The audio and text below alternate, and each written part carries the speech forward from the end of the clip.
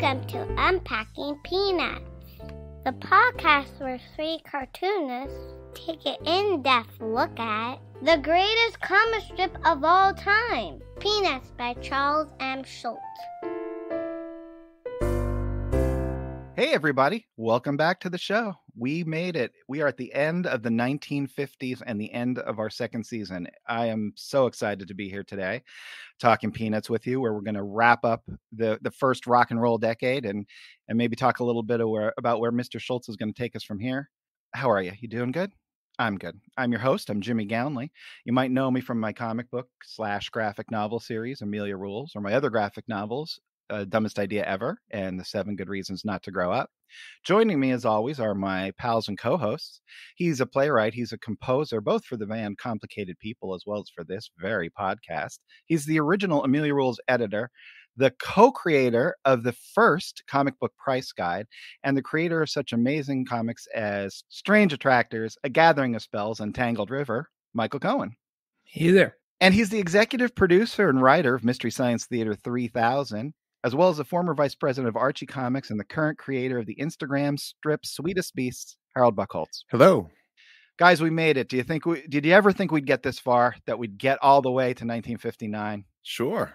Wow, well you're you're a hopeful person. That that's that's good. And we're done. That's the last the last peanuts. That's it. He retired as champion. If he was any other cartoonist, apparently That's he would have. Yep.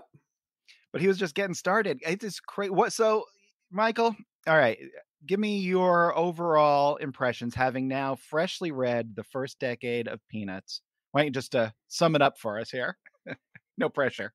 I would say uh, the stuff we covered in season two is one of mankind's greatest achievements. it is. so it's up there with the pyramids. in, in terms of pop culture, I don't. The only analogy I can think, I don't know if it's an analogy, but the only comparison I can make it, it is Yeah. the Beatles.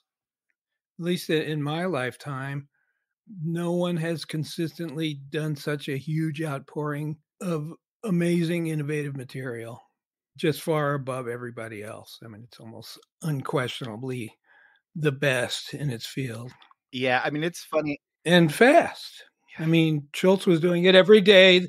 The Beatles were doing three albums a year when they started recording. Right.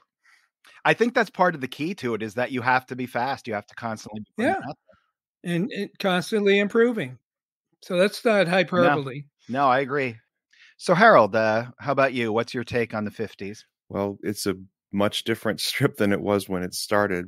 I, I would guess more so than any other decade of Peanuts. Everything is in full swing here, and it's just a wonderful strip. It's this is the strip that I remember as a child growing up. It's it's it's moved into that. It took a number of years to get fully to the feel of what I'm used to, but it was an amazing journey all the way through just to see him continue to find his way. I think it's just amazing uh, amazing how far he's come and what he's innovating and how he's just kind of gone to a place no one else has gone before. Absolutely. I, I mean, it, it, I I agree with both of your your statements there, and and yeah, I do. I, I think this is one of the the high achievements of of art in in mankind's history as well. I I, I love it. So, Michael, let me ask you this: on this particular reread, is there anything? What what what was the thing that like maybe jumped out at you the most? Maybe something that you didn't realize or that you had forgotten. Uh, just what was the the thing that struck you the the strangest or the freshest this time? I had no idea the letter W, the, the shape of the letter W was so important. My God, if you don't talk about that for at least 45 minutes a week, Um, on this reading, and it's probably been 15, 20 years since I last read all those books. It was, it was just that it developed so much faster. I mean, we've we've we've talked about this before. It's just it was awkward for a year or two, and then it just seemed to become more and more familiar quickly. If I was recommending to someone, where do I start with Peanuts? Someone who'd never read it. Last year, I would have said, well, maybe 1957. But now I'd say, well, start in 1954. yeah. Harold, how about you? Yeah, it's not a reread for me, I guess, because I so much of this I'd never seen before. I knew how it began and I knew kind of where it ended just by seeing really early strips in his little historical books about peanuts, but I don't know. I there's I guess I can't be surprised or there's nothing particularly that strikes me that I can speak of. It, it they were it was a great read, fun all the way through, and it was fascinating to see it change over time. Well, the thing that uh, are there a couple of things that surprised me, considering this is, I mean, sometimes some of these strips I've read a billion times, and some of them I've read twice now, because a lot of them none of us have read because they were never reprinted. Uh, but the thing that struck me is how fast the Sundays got good and how good they were, how much better they were, rather, even than the dailies almost as soon as they started out. I think within, you know, two months of the Sunday starting, everyone was just beautiful and classic. And I think when I saw them previous to this, uh, you know, they were printed out of order and in little different collections here and there. Uh, I never really got the sense of them as a body of work unto themselves. That that was the first thing that really surprised me. And the other thing that surprised me is that yeah, we talk about how quick it developed, which is is true. But we are at 1959, which is a decade basically into the run of the strip, and we still have we've just seen the first psychiatry booth. Snoopy's just gotten on top of the doghouse. You know, uh, we saw the first Great Pumpkin strip last year uh, the first Sally last year, but we still have so much of you know the Flying Ace, the famous writer, the French Foreign Legion strips, Peppermint Patty, and Franklin and Marcie, and all that stuff. Woodstock is still years away. So I, I'm I'm shocked that I you don't have eight years to develop a pop culture property these days. I mean, is there any version of this that you can think of that someone would be able to achieve a similar thing in terms of scale and just the ability to slow growth? Harold?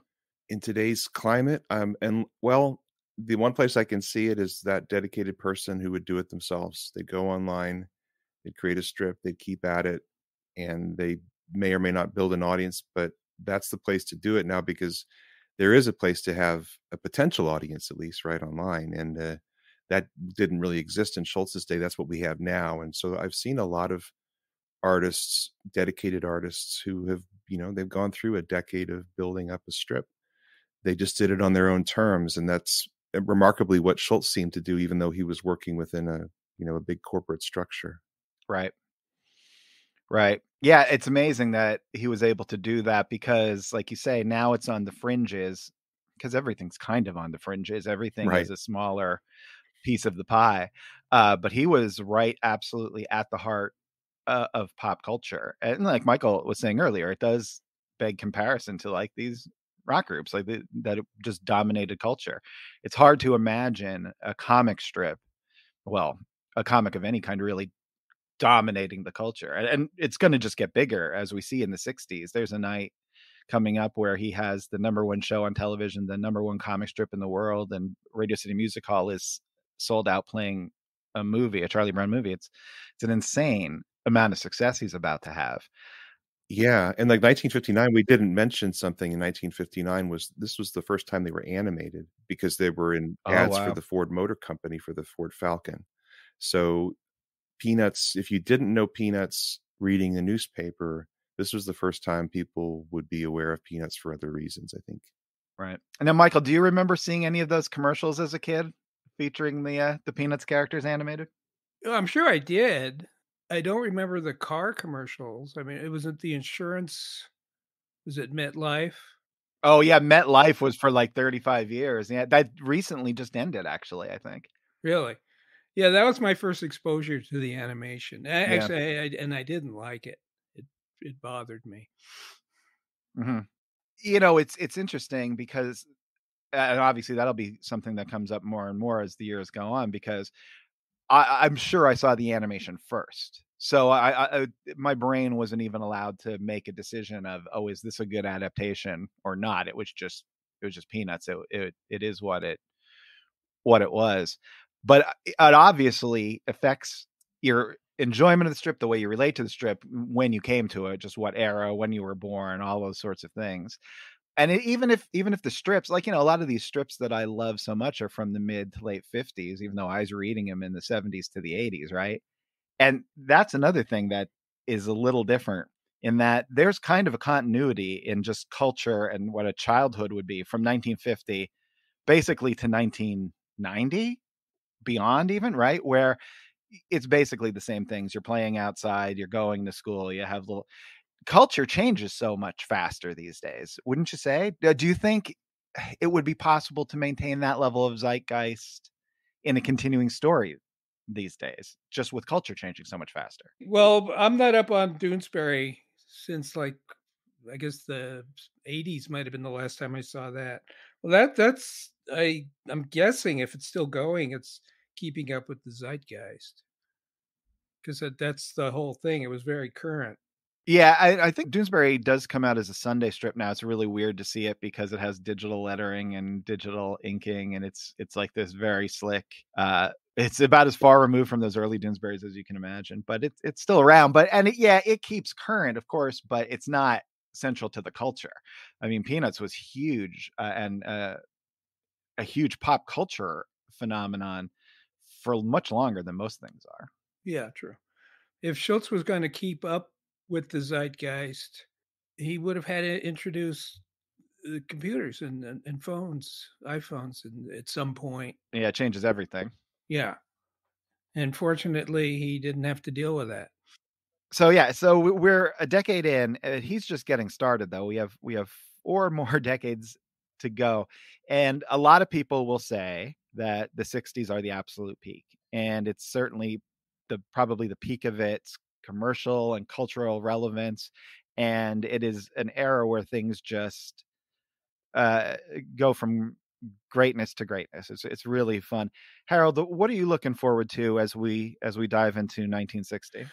Well, again, my my childhood was reading mostly these 1960s peanuts. I was born in 1966 and I remember, you know, I think we got our first peanuts collection maybe 71, 72 and uh, those little Fawcett Crest uh, mass market books were a regular part of my life all all through the 70s.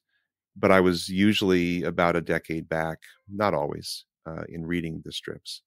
And I remember as a kid being the kind of kid I was, I would look in the uh, copyright page because I found that that was where they showed what years were were being printed, and I could tell that these were different over time. Just like we saw this huge shift over the 50s, the nature of the strip did change over over this period of time and so i started to learn okay i'm liking strips from this year this these years a little bit more than strips from other years and so uh, you know i would just make a habit of going back and looking at the years that they were from and that kind of that kind of placed the strips in my mind uh, and the the years I remember I absolutely loved the most were 1964 and 1965.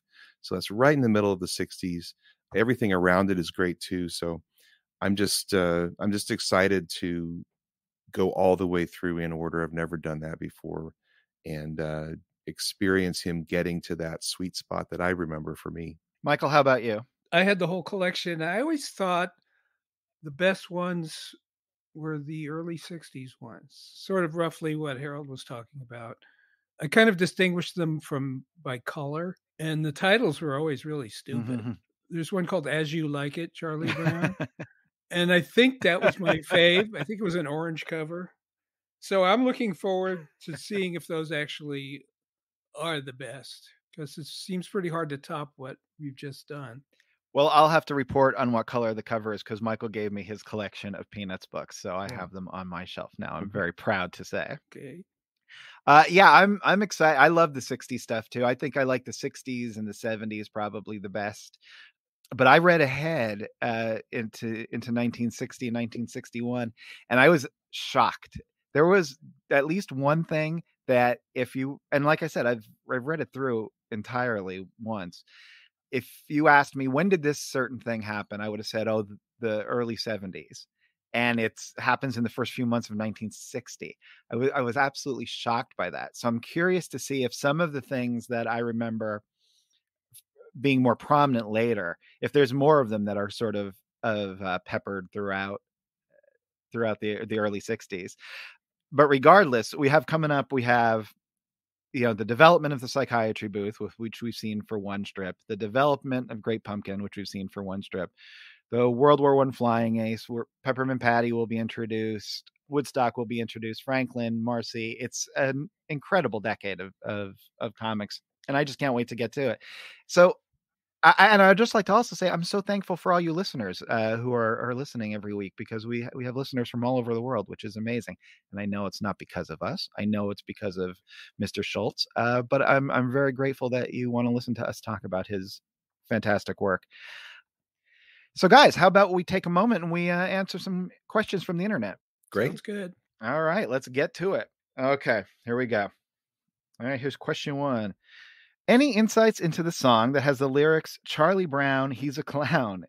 It never made sense to me until you were going over these early 50s comics. Was that song inspired by Charlie Brown's more mischievous, wiseacre nature displayed at this time? Uh, the answer, according to the songwriters, uh, who are Leiber and Stoller, is no. That they just wanted a hit for the coasters and they had yakety yak and were stuck and couldn't come up with anything else. And he just thought of the name Charlie Brown and he's a clown.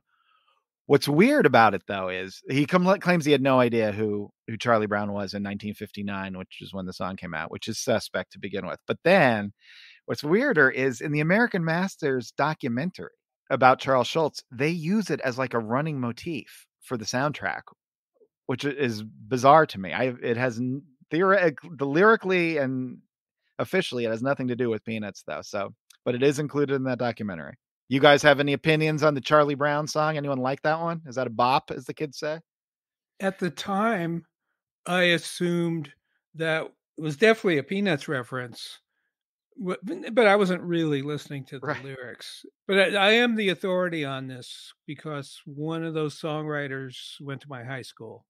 which one? Well, Leiber, Leiber or Stoller, I can't oh. remember. oh But anyway, yeah, but if you listen to it now, it's clearly not the Charlie Brown we know, except maybe like, why is everybody always picking on me?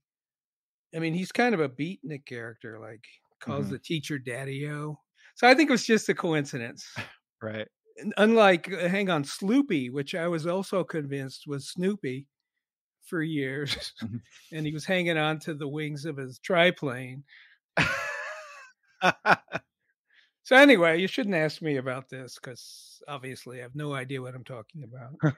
well look there is a clearly uh, an industry of unofficial peanuts related pop songs right if you go to charlie brown song if we posit that hang on sloopy was clearly meant to be hang on snoopy because what is Slo- sloopy is not a name and then you have of course uh, snoopy versus the red baron which was just a i mean that they just used the the motifs from the and characters from the strip and just forgot to pay at first That that had nothing to do with the strip.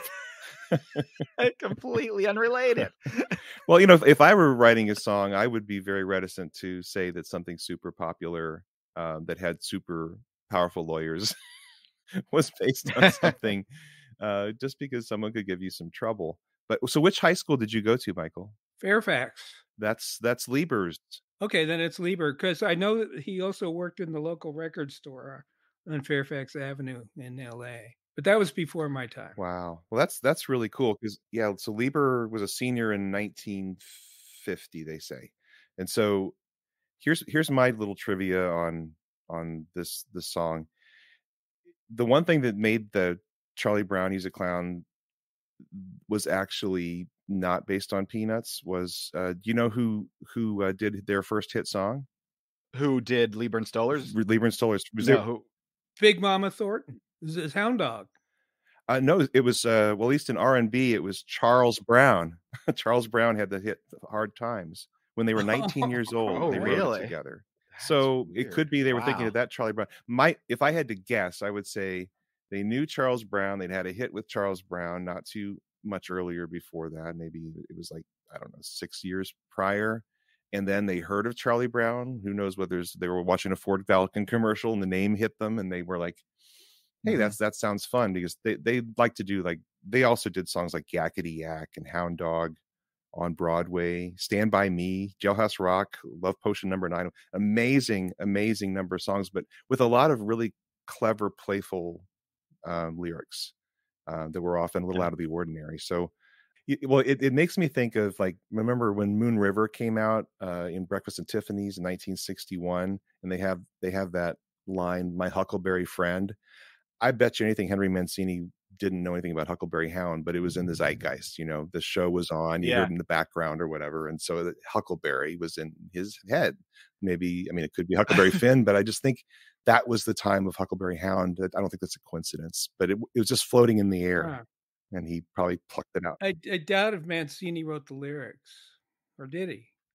That's a good question. I don't know, or whoever wrote it. I, I'm I'm guessing That was Michael Stipe's favorite song growing up because he thought it was about Huckleberry Hound. I'm sure every kid did. Well, sure, yeah.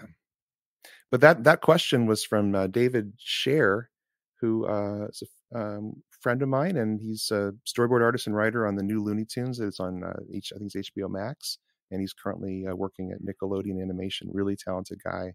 So thank you for that question, David. Appreciate it.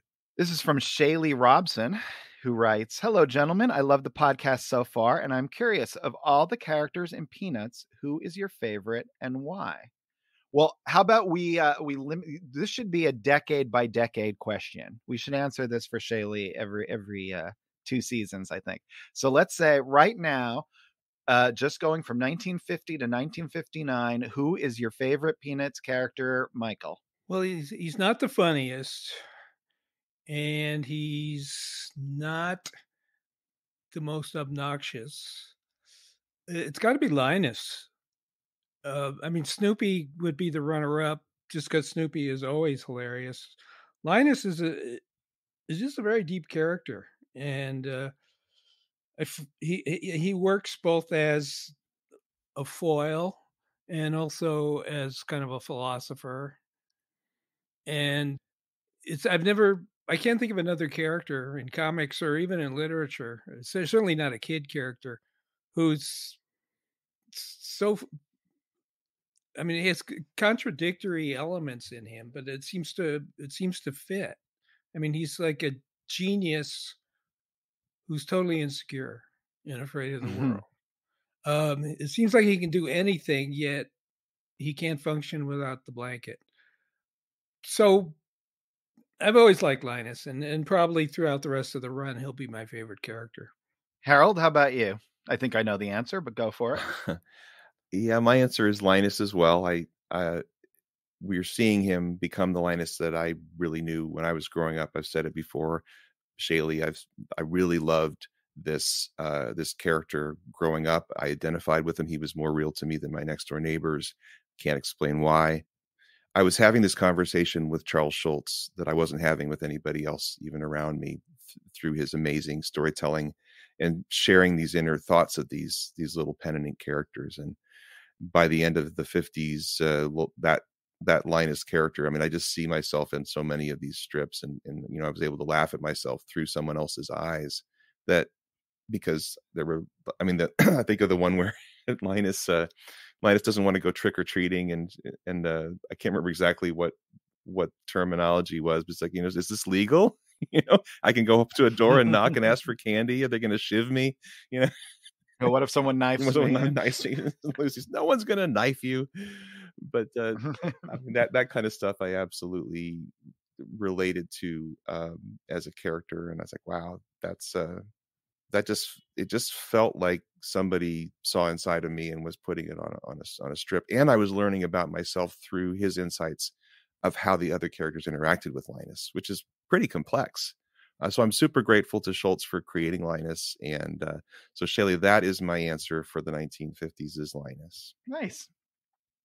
Uh, mine is Albert Payson Terhune. Oh yes, I'm going to go with an, a left field choice. I think it's Lucy. Lucy is my favorite character of these particular. She won't be my favorite character overall, but I think once she gets going, it makes all the pieces work. You know, she has the meanness of of Patty and Violet, but it's not rooted in just meanness. You know, she has the crazy conspiracy theory mind. She also just seems like a genuinely fun, kind of cool kid in a way, even though she's always, uh, you know, humiliating and torturing poor Charlie Brown. But I think if you take any of the characters out, you might be able to make Peanuts hobble along. But I think if you take Lucy out, it's going to hobble slightly worse. That's so that's, that's, a that's really interesting insight. Yeah, because she's got this connection to Schroeder. She certainly has a Yeah. relationship with Linus that's very powerful. Charlie Brown, she is the one that brings out his personality as we know it, I think. Mhm. And and Snoopy, she's she's definitely starting to have her own issues with Snoopy that are unique and and uh yeah, I I think that's a really fascinating insight. I think she is the glue and she seems to kind of amp everything up. She everything gets magnified when you're around Lucy Yeah. and everybody's personality traits seem to pop out. Yeah. Yeah. It's like, you know, um, famously, uh, when Reggie Jackson got sent to the Yankee or, you know, was traded to the Yankees, um, and they were talking about the the lineup or whatever, and he said, Hey, I'm the straw that stirs the drink. And uh, you know, I think Charlie Brown's supposed to be the straw that stirs the drink, but Charlie Brown doesn't stir anything. He's inert. so everybody's there kind of because of Charlie Brown, but the only one that gets things going is Lucy.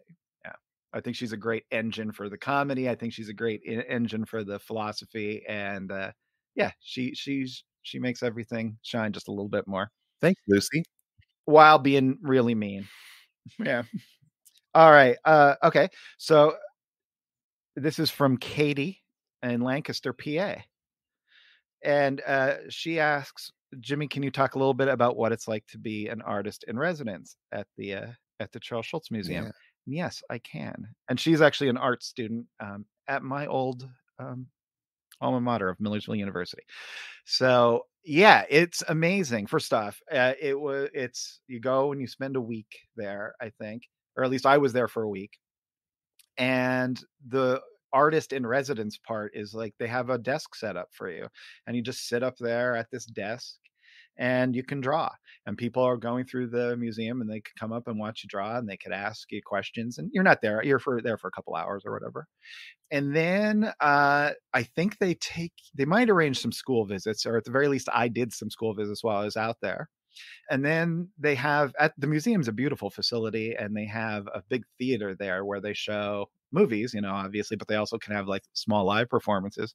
So i went and i did presentations there a couple of times. They had like they closed the school for homeschool day one day and they just brought in all these homeschooled kids and they got to you know explore the museum and then it ended they came and they did like an hour with me in the in the theater and it was just so fun because it the you could see his studio and you could see the museum and then you could see the the roller or the roller skating yeah the ice skating rink that he built at the warm puppy cafe and see the the little table he sat at every day and had his his english muffin. It was actually it was a magical experience. I could i had this is my story i'll tell about it. And my whole family was invited which was great. We flew in landed in san francisco and got a car and we're driving from santa or from san francisco to santa rosa and the gps is on and it's saying you know make a left make a right make a left. And we're supposed to and i'm just getting more excited by the the second that i'm going to get to you know do this and mrs schulz is going to actually meet me at the the museum where she's kind enough to let me stay at her house. They had a guest house at the time. So i'm getting more excited and the gps is saying you know go north go so whatever. And then it as we pull into the parking lot of the charles schulz museum where i am artist in residence the gps says congratulations you have arrived at your destination and i thought how wise is my gps i have arrived and I met Mrs. Schulz, and she was, so nice. And she said, "Hey, um, follow me up to the house, but just in case you get lost, here's the address." So I'm like, "No problem." I got a very wise GPS. So I get back in the car. I plug her private address into the GPS, and the GPS says, "I'm sorry, your destination is unreachable." and I thought, "How wise is my GPS?"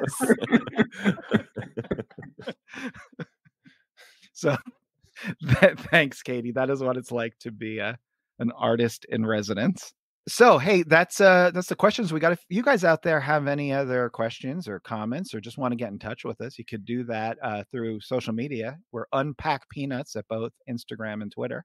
And you could also email us through our website, unpackingpeanuts.com. And that's where you can sign up for the Great Peanuts reread and you could vote for your favorite strips of the year. Have you guys been keeping your eye on who's winning strips of the year? Yeah, I'm bombing out.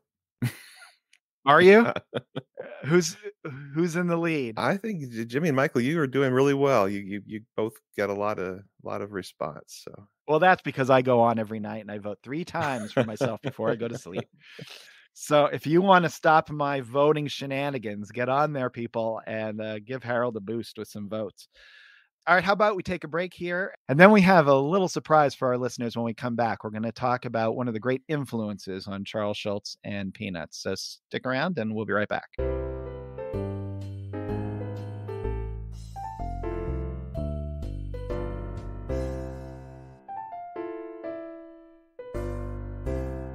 And we're back. Did you miss us?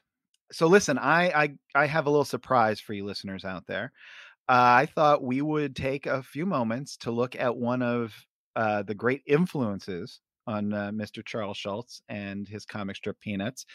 a strip which has been lost uh, for most of comics history, but has been in print now for the last decade or so, uh, put out by IDW. And if you want to follow along with these, uh, they're also on Go Comics. And the comic strip is Skippy by Percy Crosby. And uh, it was a very popular strip. It is a kid strip. It has a little bit of intellectual heft. And uh, for more context, I turn you over to my pal Harold. Well, thanks, Jimmy. um, so, Skippy, it's hard to imagine. You know, there's certain things that, for whatever reason, culturally or historically, something is just huge in its time and then it disappears in in memory and we don't realize how influential or how big a part of the culture it was in its time skippy is an example of that. Charles schulz would mention this every so often. And he would say you, know, you have to check out skippy. Skippy's forgotten. Um, skippy should not be forgotten. He was he was such such a, a cheerleader for this strip and it meant a big a lot to him. And he wasn't the only one. Um, this strip was uh, around for quite a while. It started in 1923, actually not as a comic strip, but uh, as well, at least not a syndicated comic strip. It was in a weekly magazine called Life, not that Life. Again, this is another thing that's lost to history. There was a, a I guess you could call it a, it was a pre-New Yorker New Yorker magazine. It was a little bit lighter. They they defined themselves as trying to capture casual cheerfulness. So it was a New York based magazine and it was smart and it was funny. And for years, it was just a very successful magazine. In fact, it lasted over 50 years, but it's almost forgotten now because in 1936, as it was waning, um, they sold life to guess what time magazine henry luce of time magazine because he wanted the name so eh, within a month of the last issue of the original Life, which was you know a little like a like a yeah I guess you could say a, a light New Yorker kind of magazine, all of a sudden it became this hugely popular picture magazine. Uh, and it's so funny that it didn't miss a beat, and that Henry Luce so loved that title, he wasn't worried about confusion or anything. He's like, "No, that's the title. I'm buying your magazine so that I can use your title." Very strange. But wow. but Skippy appears in 1923 in Life and um, is instantly popular. And two years later, it becomes syndicated and goes on for a 20 year run. And uh, Jerry Robinson called Percy Crosby the cartoonist's cartoonist, and he described uh, Skippy as fantasy with a realistic base. Which you know, when you think of Peanuts and you think of the world of Snoopy and all of that, uh, and the kite eating tree, there's definitely that influence in Charles Schulz's work. And to give you an idea of how popular Skippy was in its day, in 1931, there was a movie made of Skippy. Um, so basically, a, a, little kid, a kid movie, right? Jackie Cooper played Skippy. Some of you may be familiar with that name. Jackie Cooper was in uh, the Our Gang shorts and was very popular for the Our, Our Gang shorts. Yeah, he he had a good long career himself he was still in television. He was a, he was a guest in Hawaii Five O and Columbo and the Rockford Files. He was definitely a, a star for years and years and years.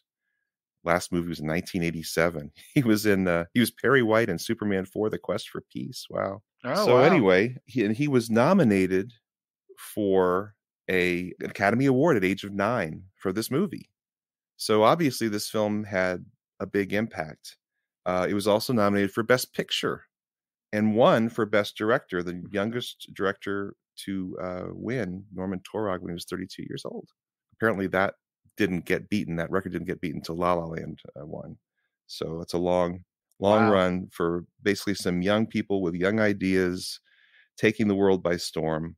1931, 1932 to 1935. There's a radio show that apparently made Wheaties very popular for for its sponsor, and uh, there was a, he put out a novel.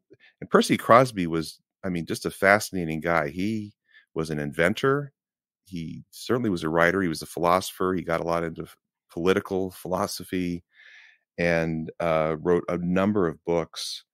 But uh, yeah, there's a there's a sad story to him. Should we get to that now? Yeah, you might as well. No use sugarcoating All it. right. Well, this is probably these are some of the reasons why we don't know about Skippy anymore. So he's making in today's dollars about two and a half million dollars a year at the peak of this, probably in the 30s. That's pretty impressive for the 1930s to for an artist to be making that kind of money. Um, I am adjusting it upward for what today's dollars would be, but it gives you a sense of how popular he was. He was born in Brooklyn, New York in 1891. He dies in 1964, but he was committed to an insane asylum to Bellevue, the famous Bellevue, after attempting suicide in, in 1948. The strip ended in 1945, so he had a very quick downward spiral. I think in the in the 40s, uh, he, I think it was issues with alcoholism, problems, uh, family problems. His own daughters didn't even know he was in an insane asylum; they hadn't seen him for years. So it's just a really, really sad story uh, of somebody who was in his time was was brilliant and was taking comic strips to where they hadn't been before, but then a series of just bad, bad things, bad timing. Um, he he kind of fell out of favor and lost everything, and it's just a very tragic story. Yeah, it is, and it's sad because there's a lot of tragic cartoonist stories. Yeah, that's true. you know, which is which is. Which Let is me tell awful. you. Let me tell you about mine. Cue the violins. so okay, so we read a bunch of them. I, I went through and I picked out some that I thought were interesting, some that were different, some that were relevant, and I sent them to the guys. Uh, so let me uh, just get what's your unvarnished uh, first opinion, Michael? Let me. What do you think of Skippy? Uh, boy, I really think you had to be growing up roughly in that period, the Depression era. I mean, these characters are kind of the classic street kids, kind of badly educated, using kind of a weird street slang. The art I found really difficult to read. He's got this gestural style, which I know a lot of people like. It's just very loose and scratchy and the the facial expressions seem almost lost in like this maze of lines sometimes whereas schulz i mean it's crystal clear what the characters are thinking and looking at skippy it's sort of like you know it seems like his mouth would disappear it looks like sometimes he has three eyes is it, there are all these facial lines that don't seem to add anything. It looks almost to me like const- like underdrawing, like construction Yeah. lines for the f- head that aren't aren't erased or something. Yeah.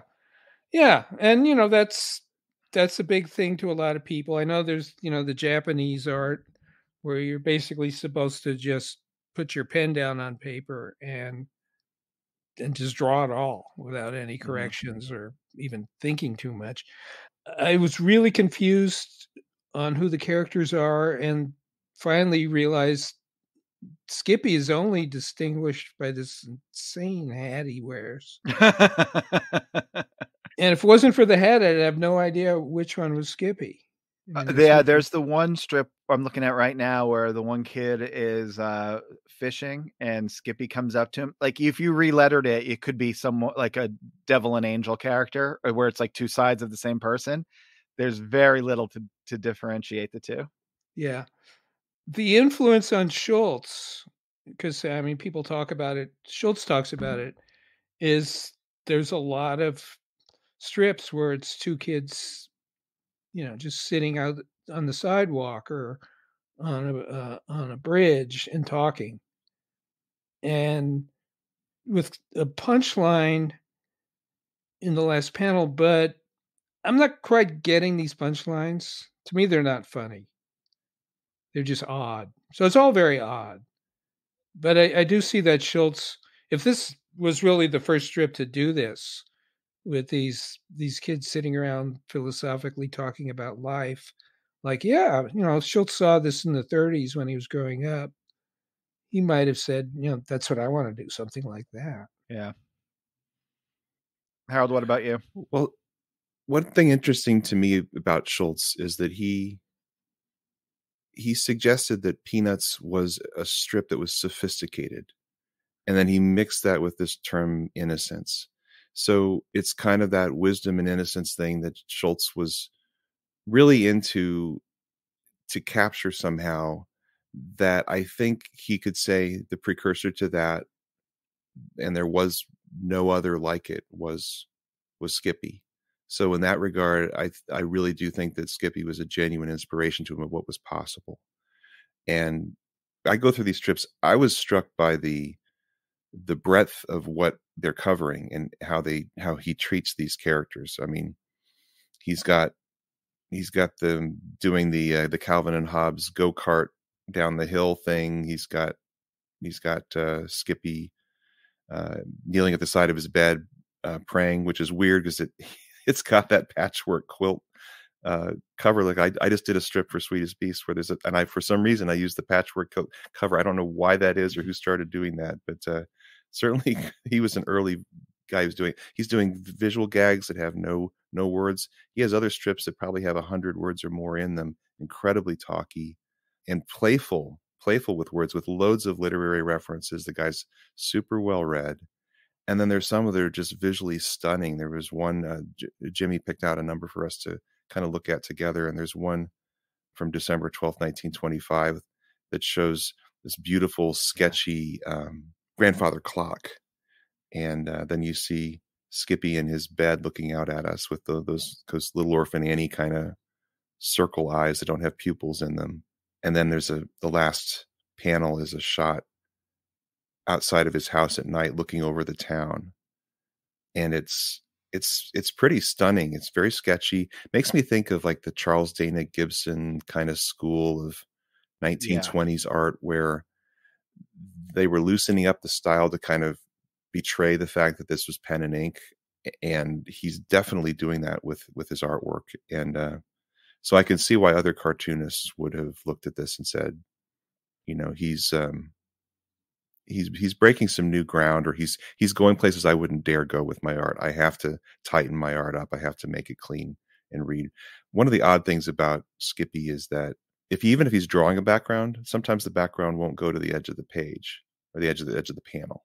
And Mhm. so you have these these white spaces around the characters that almost look like he drew something and he pasted it into a panel and it's it's not filling the space or he might fill the space with just a swirly line he's he's definitely doing a lot of things that show tremendous confidence as an artist but i agree with michael that i could see this would be off-putting which makes it even more fascinating to me how popular it actually was that people went with him to a place that i think they might have rejected with a lesser artist Yeah, I think you know it's. I think the thing Schulz got visually from it is that it is drawn. It is inked quickly, and I would. I don't know. I'm sure someone actually knows what he inked with, but you know what my guess is What? is that it's a fountain pen, Hmm. because there's a little bit of a variation in line, but there's not a lot of variation in line, and this thing is being drawn at light speed. You know, especially some of those marks in the background where it's just scribbles indicating nothing really, just scribbles in the background. I mean, they were slashed out. And then I think some things like maybe the um the landscape you were talking about, or there's another one for the December 23rd, 1925 strip where I, that's definitely done with some sort of you know, Charles Dana Gibson uh, pen nib. Hey, Michael, who is, if you were to think and name a cartoonist that this most reminds you of visually, do you have anybody off the top of your head? I have a weird pick. I don't see what you think. No, but it, cartoons or newspaper strips from this era, I find very difficult to read. Yeah, and it's it. You know, there's a little bit of uh, a little Nemo, but Little Nemo is so tight with all the beautiful. Yeah, but the lettering is just rough. yeah, no, this is better lettering than Little Nemo. I, how he could invent animation, be the greatest draftsman in history, and not figure out that you put the words in before you write mystifying around it is amazing. mystifying. Uh, no, you know who reminds me of Eddie Campbell. Oh yeah, yeah, yeah. You know that total scratchy, um, like impressionistic, expressionistic, whatever you want to call it. Uh, yeah, for me, yeah, I'm not going to laugh out loud at it. But boy, did I I was shocked at seeing the go-kart go down the hill. Because I assumed I ripped that off from Bill Watterson, Calvin on the sled. But then I think, well, he must have ripped it off from here. But actually, I doubt he's ever even he not. I'm sure he's seen him now, but I think when he was up and coming, they would have been impossible to come by. It must be in the Smithsonian book. I which everyone I had. have that, but I, I don't, don't remember, remember seeing much Skippy, Skippy, in being in yeah, it. I don't remember it. No. If No. anything, it would only. I don't. Rem, I don't think it's in there at all, which is crazy, right? If it was that popular. The only reason I knew anything about Skippy was was Charles Schulz. Whenever he'd bring it up in a book that I'd read as a Yeah. kid, and I'd like, and you, and you think about it, like, yeah, it's like this this um, huge thing that somehow you've never come across, and it just never showed up. And you- Right. and then in time, you start to wonder, well, why didn't it show up? And then you you got to hear that the, you know the, the weird story. But going to your your artwork, there's a fascinating strip in the selections that you picked, Jimmy, that is Skippy at a museum Oh yes. and you're going left to right across the wall of the museum and the artwork of like six or eight of these very impressionistic uh, curvy mondrian kind of looking paintings then lead to the far right corner where we see um, something that says rembrandt on the frame and it looks like there's a lot more detail in the strip and and Skippy is saying, "Hmm, a new school," and uh, which I thought was pretty pretty funny. And then the thing that really Yeah. strikes me looking at it though is he's doing his sketchy style version of a Yeah. Rembrandt. He's he's not trying to recreate the Rembrandt. So in its own Yeah. weird way, it's super impressionistic, like the things on the left, except they're less it's less geometric Exactly. which is just absolutely I, I get the sense that when I read these things, I get the sense that this is being written and drawn by somebody a lot smarter than me. I mean, like IQ off the charts smarter than me. And he's trying to find his way back to speak to the plebeians like me. That's the feeling I get when I read these strips. Uh, because you know, and then knowing knowing his history, uh, he just seemed to have a mind that did not stop, and ultimately that was his downfall. And that's kind of the tragic side of somebody who was really Right. smart, just not able to to get back into the world with everybody else. That's kind of the feeling I get. Uh, very sad. But yeah, that's exactly everything I wanted to say about that strip because to for him to depict what is meant in the world to be a gorgeous, you know, fully rendered oil painting, it, figural, you know, with actual subjects versus abstract art, but they're both abstract art in the strip, but it still works to convey the reality of the Rembrandt painting. It's eh, it's bizarre eh, that it works, and I'm not even sure how.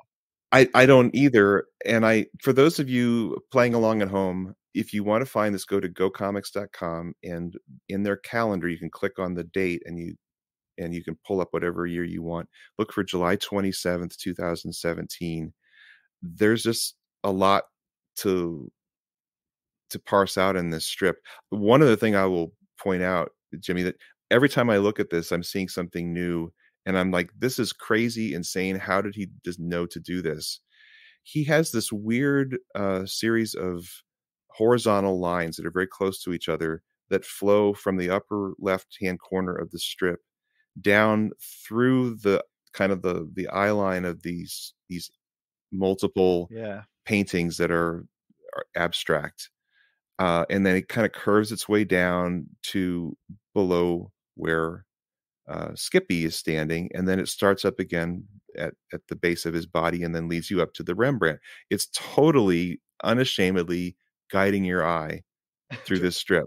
Yeah. He wants you to see, you have to see the these strips on the left first, which you might skip over. And he knows that. And you uh-huh. get this is the last thing he probably put into the strip, right? Were those lines. Right. He's I've got to guide the eye. And he does it in this blatant way, which in its own way is super artistic and kind of abstract. It's it's it's just it's yeah, and yeah, and that does that just kind of is there. Uh, like I didn't even think about that until you mentioned it now, but it's a hundred percent true. Well, okay, so here's my question to you guys. I don't know if you can call it up right now, but um, you might remember we I sent the August twenty second, twenty fourteen strip, which is uh, a bunch of horses running around the racetrack with. Yeah. Okay, how long do you think it took him to draw this? It is as, as much time as it took for those horses to run. About by. a minute and a half. Okay, what do you think? Yeah, it's kind of an, uh, an assignment they give you in art right. school. Well, uh, Harold, what do you think? You think it'd be short like that as well? It looks. I mean, I don't have any insight. Yeah. I'm not going to be able to pull out and go, no, it took him through. Uh, it looks like, yeah, it looks like a quick sketch that you would make to get to capture something that's happening while he's at the racetrack. You get that feeling like he's right there watching it happen. He's got to capture it eh, in sketch form as he's doing it, and that's that's remarkable. And I, and again, to, going to Michael's point, I just want to say I agree that the looseness of this of the art style fights my eye. I really have to I really mm-hmm. have to commit to to read what what's here because it's rough and it's uh you have to put the pieces together and i historically have not been good at I, artists who were absolutely loved and admired. I, I think of some of uh, joe kubert's work uh, of the character was it tor like the tarzan type of character? He had a famous logo for his joe kubert school of of tor that is done with these really quick oh, yeah. blotchy art styles and often he'll be up against like trees that are basically blotches of ink and i have to fight i'm looking at a rorschach thing when i when i see that i have to fight to make sense of it and other people i think maybe can put that together faster than my mind can. So i have resistance when i read the strip but at the same time i mean the guy knew what he was doing and he was absolutely intentional. And so yeah it, it looks incredibly fast almost and too fast for my for my brain to be able to process some of the drawing. Well the reason i was sort of asking uh, the only thing i knew about him before you know recently was from the, the little Schulz would say and i i remember it might be in the gary groth interview in comics journal where he says something like he talks about how rough and how fast the strips were and then Schulz obliquely references alcoholism. He's like, but I don't know anything about his alcoholism or anything like that. So in my mind, I was like, oh, this is what he is. It's some guy who is trying to put the minimum amount of time into drawing something, right? He might have eh, eh, like all his time is in his head. Clearly, he's thinking all of this through, but he's drawing it very quickly. So, but then I thought, okay, so if you were going to task yourself with drawing something super fast, to, would you choose drawing seven horses going around a racetrack right. with people in the stands. That's an in- drawing a horse is famously the hardest thing in the world.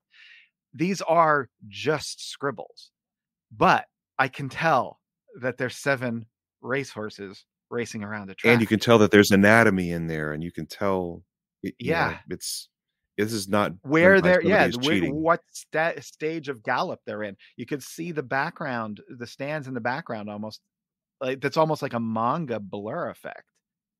So it's it's odd. Like I could definitely see whipping out some of the other ones, the no background strips quickly. Yeah.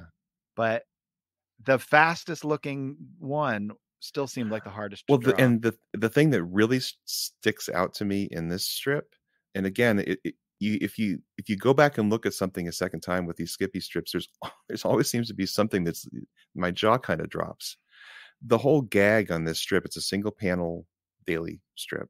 So again, if you're playing at home, take a look at this strip. The left hand side shows Skippy and who knows who in a extremely, extremely rough drawing, much rougher than the um, than the horses.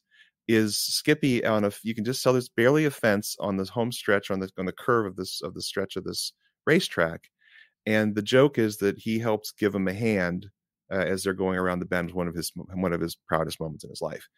But the drawing of Skippy and his friend is the most abstract blobby thing you have ever seen. You just barely get the meaning of it. It's you have to fight to see it. And yet I can tell that Skippy is waving his hat. Yeah. And I kind of think that the other kid has the the track newspaper, you know, rolled up in his hand. Wow. How do you... Am I imagining that? I, I there's some I know. I, I don't, I think, think you probably hat. I'm not probably get it. Yeah. But imagine this was printed in a newspaper on newsprint with no. bad plates. what on earth did it look like to people who were reading it? Smudge. I, I don't know. It's just it's crazy. But it is true. He he was he did have trouble with alcohol, and the, but this would have been maybe starting in the the mid to late 20s and then he he gets he gets off of alcohol for a number of years uh from the 20s into the 30s and then and then i think he he kind of falls back in around 1939 or something. So there's a period where he's not drinking, and whether where it falls with these strips, I don't exactly know. But it would be fascinating to go back and look and see if you know how the art changes, if at all, during these these rough patches in his life because I mean the thing is that by by 1945, the fact that this was he was making two and a half million dollars in the 30s, and by 1945, his syndicate won't renew his contract. And you know how hard it is to kill a strip in a newspaper. I mean that thing will sit there forever. The things that have been around for 75 years that are on the fourth artist, they don't even know what they're doing. They don't care. They're just doing it for a paycheck.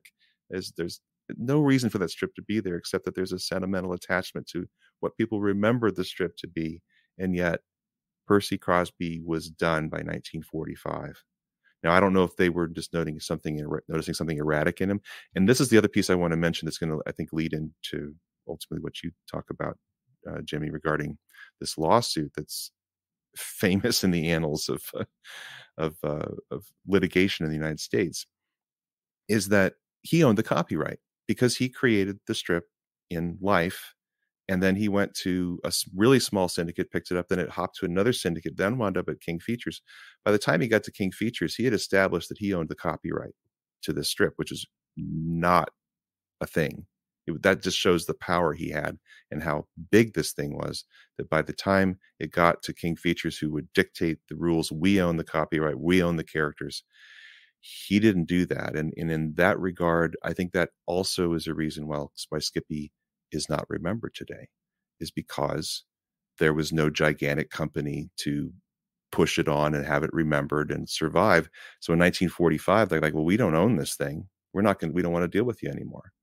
You know, there would have been a Skippy mm-hmm. from 1945 to 1983 if King Features had owned the character. Right. But that didn't happen here. It was kept in his family and his estate and because of the sad story of how everything kind of went into decline and was estranged from family members that i think that would explain when a and when a family owns something we were talking about how well schulz's family has done with keeping the integrity of peanuts it usually doesn't go that way mm-hmm. it's very hard i worked for archie mm-hmm. and we mm-hmm. were under the third generation when i was at archie and they were you know they were owning it and protecting it but Archie is not owned by, you know, Time Warner or owned by owned by uh, Disney or or some other gigantic conglomerate. It's owned by the family, and in a way, you, you can keep the integrity of something, but you can also make it almost impossible. Because how many families know how to do business deals and deal with lawyers and you know it, it, stuff often gets gummed up like walt kelly's family owned a lot of the Pogo stuff, and I think one of the reasons Pogo is is le- is not as well remembered today is because the family who are stewarding it are doing their best, but they're not a giant corporation. They just don't know how to manage something as complex as a as a multi multimedia property. It's not easy, and Skippy, I think, is definitely uh, the victim of all of these this conflagration of bad things so we don't we don't know the strip today. It's a really depressing story, actually. And you know it- what's what's depressing about it from a cartoonist point of view is it's like, well, you have two choices. You can keep the rights to your thing, uh, but you'll probably die broke alone in an asylum somewhere. Or you could sell the rights to your thing, like Superman, and have it become a multi-billion-dollar brand the world over, and you can die alone, penniless, in an asylum somewhere. Like, it's Those are our I- choices. I- I- yeah. that's the choice. Those are the I choices. love being a yeah, cartoonist. you know? yeah, it's the best. I do love being a cartoonist. I have to remind myself several times a week. Yeah. But I, used do. to paste over my Um, over my drawing board when I was working on pro- projects, and it said, "I love to do this." I looked up every once. in a while, Oh, that's right. That's right. I love to do this. That's right. I wanted to do this. I love it. so yeah, so uh, just to bring it back to Schulz, around 1932, this food company out of California starts putting out peanut butter, and they call it Skippy. And if you you have to look at the original jars of Skippy, but if you look at the original jars of Skippy, it was uh, like brush lettering on a fence on a on a picket fence of uneven size. And Crosby owned the trademark for Skippy and actually was able to shut this down and and tell the this the peanut butter people that they couldn't do it. But then he went into an institution and uh, the company persisted and eventually they were able to they just had enough money and enough lawyers to basically bully their way through the legal system and say we want to continue doing this Yeah. so Even when there were some judge they finally got judgments against them, right? I mean, it basically says Yes. this is illegal. Stop it, and they didn't stop it, and and it's Yeah. like they, Didn't they get- couldn't no, get it to be enforced. It's so bizarre. right an, uh, an unenforceable thing and schulz got um, brought into this as an expert witness for the trial and he writes about it in his book you don't look 35 charlie brown and he writes about it I, with a little sense it's not i wouldn't say bitterness but a little sense of disillusionment or whatever because he, i guess he took it very seriously and he went and he was put on the stand and he testified that if he were to take something from skippy and have it it just be an icon that would represent the, the strip it would either be he said skippy's go-kart or the fence that they have on in skippy's lettering and that's basically what it is and when we go through the strips we will see uh skippy and his pals hanging out at the fence uh that looks very similar to the to the one on the skippy peanut butter uh, so Schulz testifies, and then this is this is how he ends his story, and this is what I just think is pretty funny about it. One of the family members, one of the, the estate, says, "You know, we'd really like to thank you so much for doing this." And Schulz goes, "Well, if you'd really like to thank me, I wouldn't mind having a Sunday page." Oh yeah. and I'm pretty, and he, which he never got, and he's a little irritated by it at the end. But I'm pretty sure you can't do that, right? I don't think you could get someone to be, uh, you know, your uh, witness in a trial and then give them compensation for it. Oh, right? actually, you. I think you can. Are there people Yeah. who are who make a living being a star expert witness? Oh, oh, if you're a professional. Oh, so interesting. I, I don't know if they paid him anything. He probably just did it because he wanted to help the family out. But yeah, you, you can be paid for it Yeah, as he definitely expert. did not get paid. For Yeah, it. like if you were a Yeah, witness to the crime. I think that might be an issue. I guess that's true. That is the difference. Yeah. well, I was going to be outraged. No, But, but my, my understanding is the family to this day, like they they filed a motion as of like 2020. I mean, we're talking 87 years. This has gone on, and it, they have not they have not Yeah. dropped this. This is I don't know of any lawsuits that have gone longer, but maybe there is something. why why wouldn't at this point why wouldn't the peanut butter people just go here's some money like please like at this point i mean it's been going on i guess because they why they don't need to I mean, yeah, if they if they had more publicity, I guess at some point the word word would get out, and maybe they would they would try to resolve it. But what a what a mess! Like I know I was like Superman, and like you're talking about Superman and Captain Marvel when uh when Fawcett was doing its version of a superhero, and Yeah. and it became more popular than Superman, and DC sues them. Um, they've been around for a few years before they do it, but it becomes super popular. But that went over on for like was it like 12 years or something before it finally got settled or 10 Mhm. years. It's crazy. Well, and then Captain Marvel in Britain was turned into a ripoff called Marvel Man, and then that ended up in a Oh, lawsuit that lasted a decade. Yeah. Well, that's the other joy of comics, right? You know, just get the, get your popcorn out and it's going to be a long ride. Look, for you listeners out there, if I could just have convey two things through this podcast, it's one, read Peanuts. It's a great comic strip. And two, buy Jif.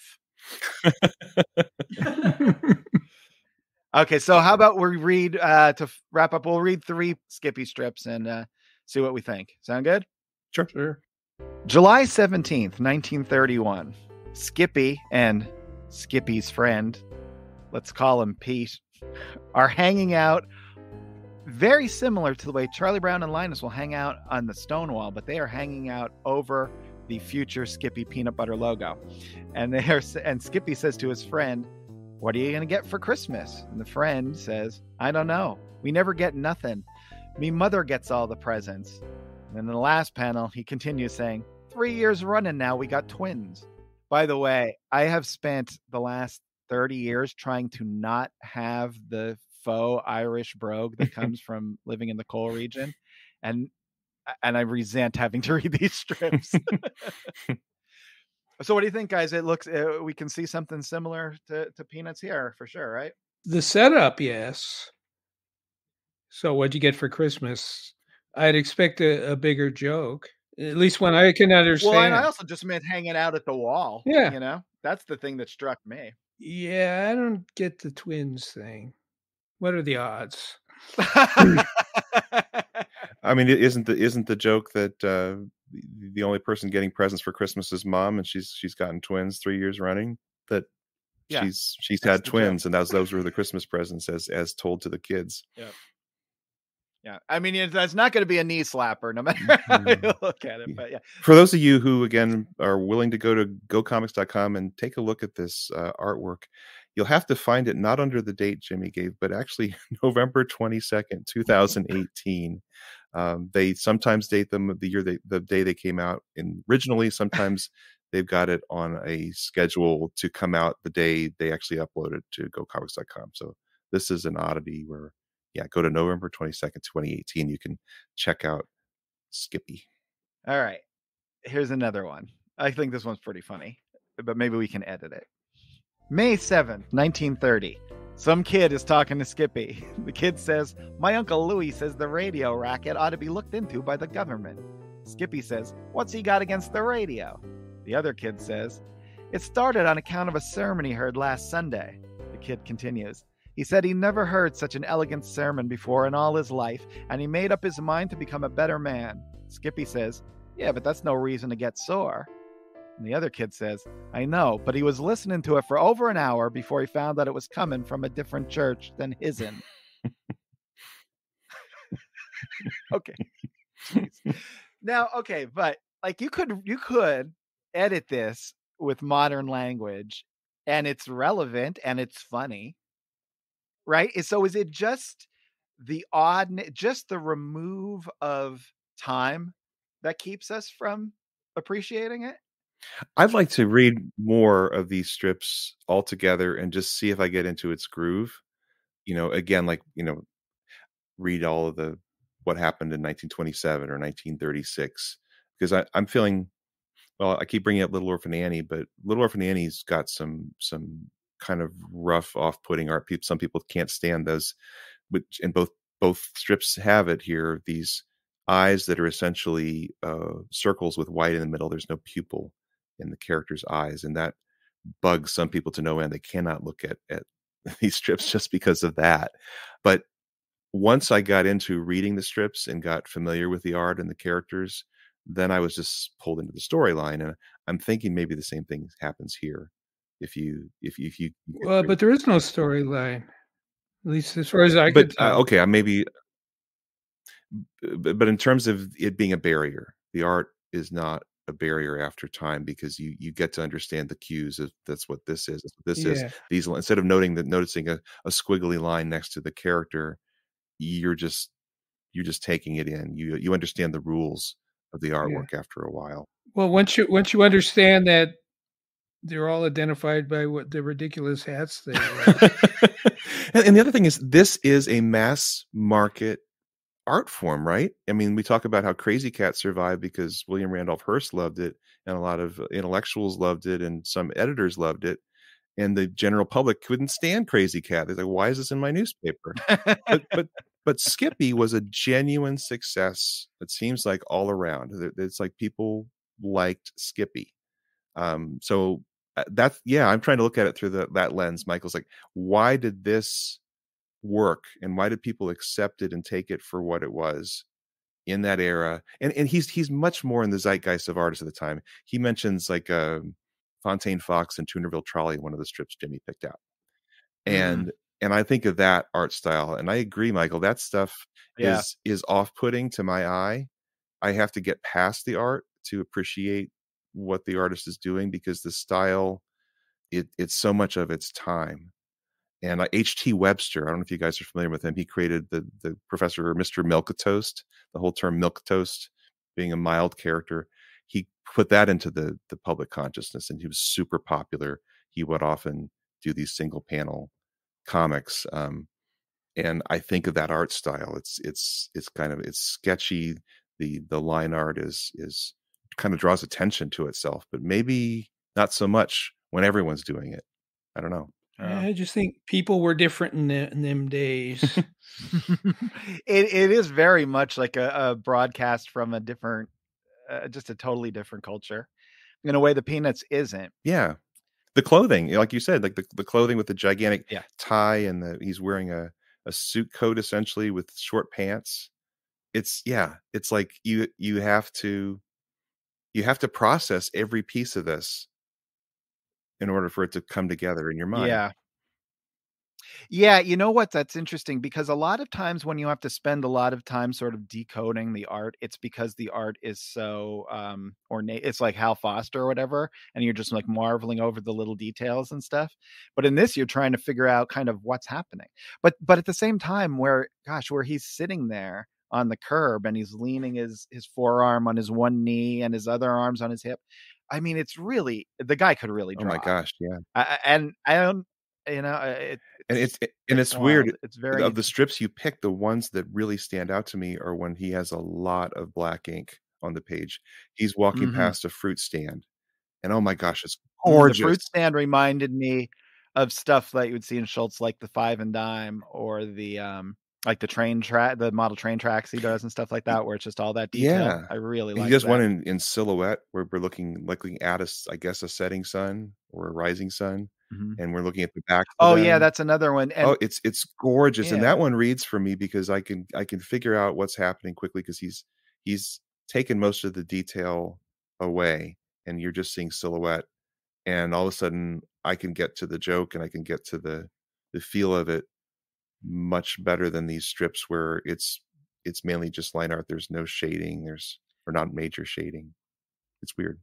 I think that was my favorite visual strip, and we're talking about on Go Comics. It's August fifth, twenty seventeen, but it was actually published on June seventh, uh, nineteen thirty. And again, no Photoshop or anything like this. He had to draw the two characters in silhouette in the tree in that really gestural style, but three times, but they look beautiful. Yeah, and I'll I'll throw out one more that I may may or may not be on your list of ones to talk about, but it's um, December twenty third, nineteen twenty five.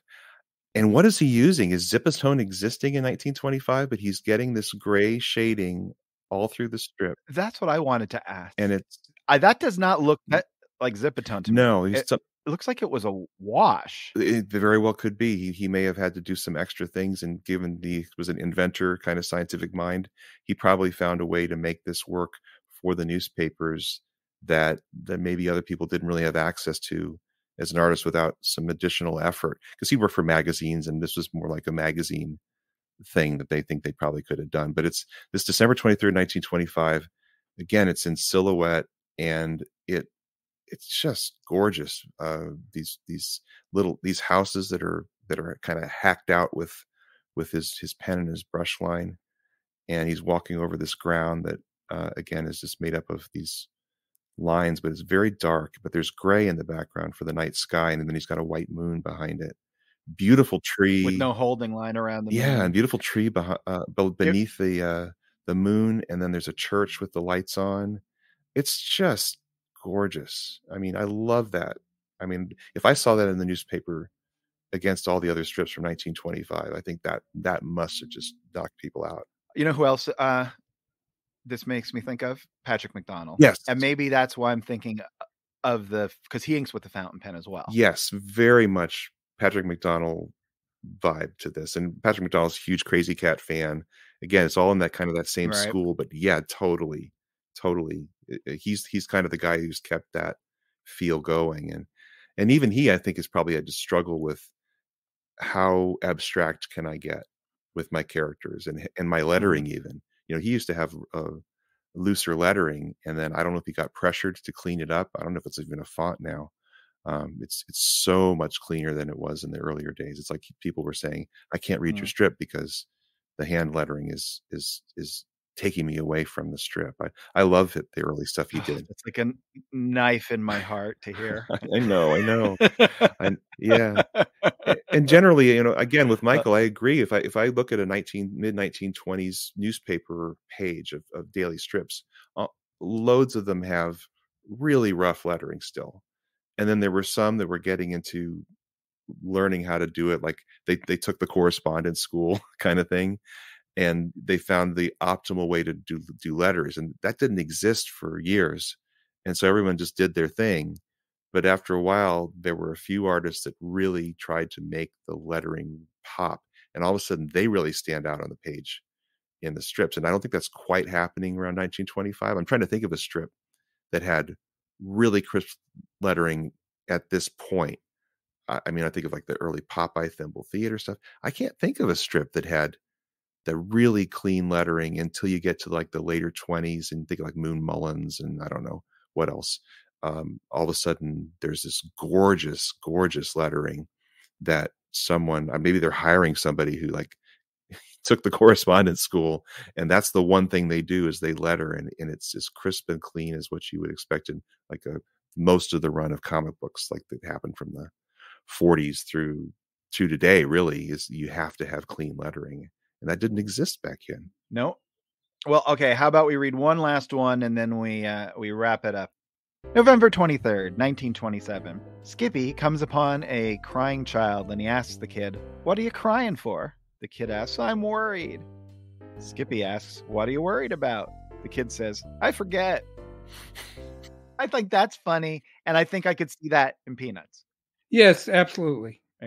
Doesn't have the, for- the how would Schulz do this? Who you first you could see him with it would be like Sally or one of the baby characters as the little kid, and he'd need to add that fourth panel somewhere. Yeah. was there a strip like this that we read in the 50s was there one like that kind of had this gag like well uh, There's one with Charlie Brown crying, because we commented on the fact that he was too old to cry, it might be very similar. Except those are characters who have personalities. Right. right. Yeah, this is definitely and you know, we are reading them out of order and stuff, but yeah, this Yeah. is that is the joke. So this was 1950s uh, unpacking peanuts. I'm so happy to be here. Before we leave, I just have one spontaneous question to ask you guys. You only have one year you can pick, and that's the only peanuts you could read from ni- the 1950s. Michael, what one year from the 50s would you take to your desert island to read? 1959. 1959 from Michael. Harold? 1959 I'm gonna go with 1955 Well, just to be different.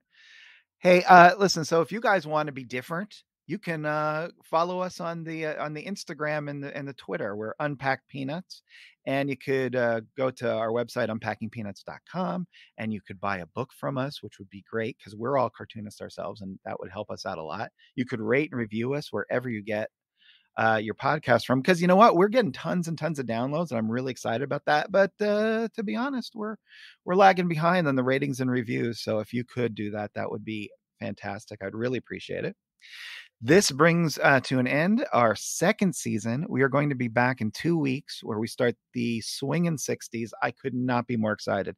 This is my favorite day of the week. Both the it's the day we get to record and the day you get to listen, and it makes me so happy uh, to be sharing that uh, that Tuesday with you guys.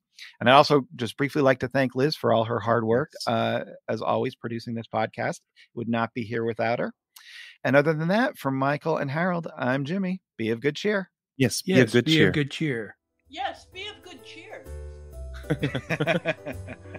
Unpacking Peanuts is copyright Jimmy Gownley, Michael Cohen, and Harold Buchholz. Produced and edited by Liz Sumner. Music by Michael Cohen. Additional voiceover by Aziza Shukralla Clark. For more from the show, follow Unpack Peanuts on Instagram and Twitter. For more about Jimmy, Michael, and Harold, visit unpackingpeanuts.com. Have a wonderful day, and thanks for listening. You blockhead.